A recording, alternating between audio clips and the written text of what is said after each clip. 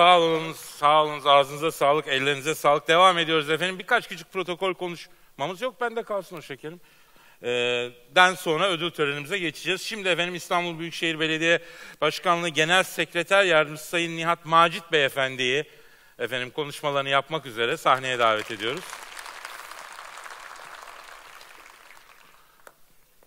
Ee, abi burayı dediler çünkü mikrofon eline verirsen dediler daha kısa konuşur dediler. Ha öyle mi? Peki abi o zaman siz... tüh yemedi ya.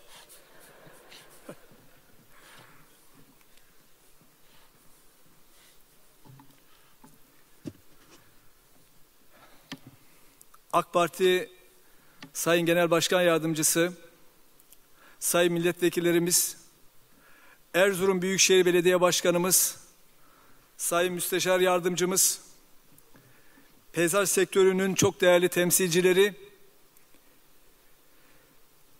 belediyemizin değerli me mesai arkadaşlarım, çok değerli katılımcılar, hanımefendiler, beyefendiler, ben de her birinizi şahsım ve İstanbul Büyükşehir Belediye Başkanımız Sayın Kadir Topbaş adına saygıyla muhabbetle selamlıyorum.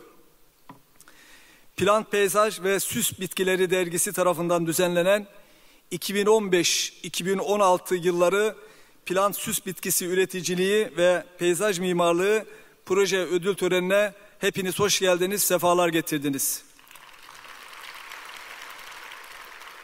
Bu ödül töreninin öncelikle sektör temsilcilerimize, İstanbul'umuza, ülkemize hayırlı olmasını diliyorum.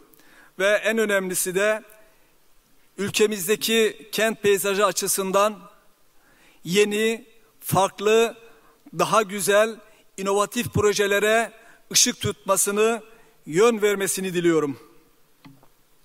Bildiğiniz gibi bir kentin sahip olduğu doğal güzellikleriyle insan elinden çıkmış değerlerinin dengeli bir biçimde ortaya çıkarmış olduğu bir görsel güzelliktir kent peyzajı.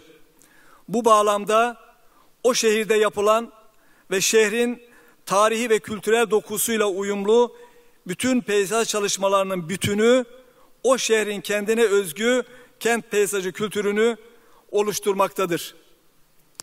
Hepimizin bildiği gibi ve bir kısmımızın da şahit olduğu gibi 1994 yılında Cumhurbaşkanımız Sayın Recep Tayyip Erdoğan Bey'in Büyükşehir Belediye Başkanlığı döneminde başlayan yerel yönetimler anlayışıyla birlikte kent peyzajı literatürümüze girmiş ve İstanbul'umuzda uygulanmaya başlanmıştır. Daha önce maalesef kent peyzajı diye bir olgunun varlığından söz etmek pek de mümkün değildi. Belli başlı büyük şehirlerimizde geçmişten günümüze gelen korular, fidanlık alanları ve kentlerin tarihleriyle özdeşleşmiş olan birkaç parkı dışında yeşil alanlardan bahsetmek neredeyse imkansız gibiydi. Tabiatıyla kişi başına düşen yeşil alan miktarı da gerek Avrupa Birliği normlarının değerlerinin çok altında gerekse Dünya Sağlık Örgütü'nün belirlediği değerlerin çok altındaydı. 2004 yılından itibaren ise Başkanımız Sayın Kadir Topbaş'la birlikte İstanbul için kent peyzajı olgusunun zirve yaptığı kentin diğer planlama disiplinlerinin yanında peyzajın da vazgeçilmez bir öge olarak yerini almaya başladığı bir dönem olmuştur. İstanbul Büyükşehir Belediye'mizle birlikte ülkemizin di diğer büyükşehir belediyelerinin de kent peyzajının önemini ve gerekliliğini görmeleri, kavramalarıyla birlikte ülkemizde yok denecek durumda bulunan peyzaj sektöründe büyük bir sıçrama meydana gelmiş ve peyzaj sektörü ülkemiz ekonomisine ve ülkemizin istihdamına büyük katkı sağlayan önemli sektörlerden biri konumuna gelmiştir. Çok değerli katılımcılar, Plant, Peyzaj ve Süs Bitkileri dergisinin gerek uygulayıcıları, gerekse üreticileri teşvik etmek ve özendirmek amacıyla iki yılda bir düzenlediği ve bu yıl ikincisini gerçekleştirmekte olduğumuz bu ödül töreni sektör, sektör için çok büyük önem arz ettiğini düşünmekteyim. Peyzaj sektörünün çok daha ileri gitmesine, modern dünyanın yeni peyzaj yaklaşımlarının takibine, ülkemizdeki uygulanabilirliğin sağlanmasına büyük katkı sağlayacağına yürekten inanmaktayım. Bu nedenle bu programın gerçekleşmesine katkı sağlayan ve bu organizasyonda emeği geçen başta Plant Peyzaj ve Süt Bitkileri Dergisi yöneticilerine, emeği geçen tüm paydaşlara huzurlarınızda teşekkür etmeyi bir borç biliyorum. Ve başarılı çalışmaları sonucunda ödül alan kişi ve kurumları da kutluyorum, tebrik ediyorum.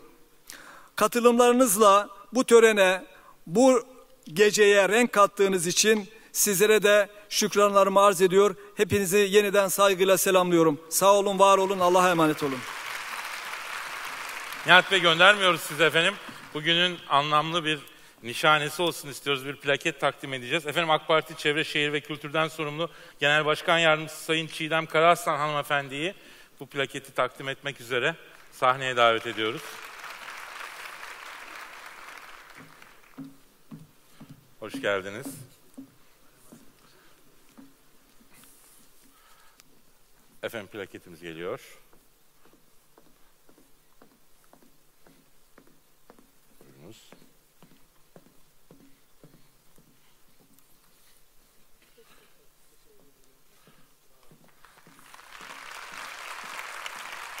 Çok teşekkür ediyoruz efendim değerli katkılarınız için. Kolay gelsin. Sağ olun efendim. Çok sağ olun. Sağ olun. Sefalar getirdiniz.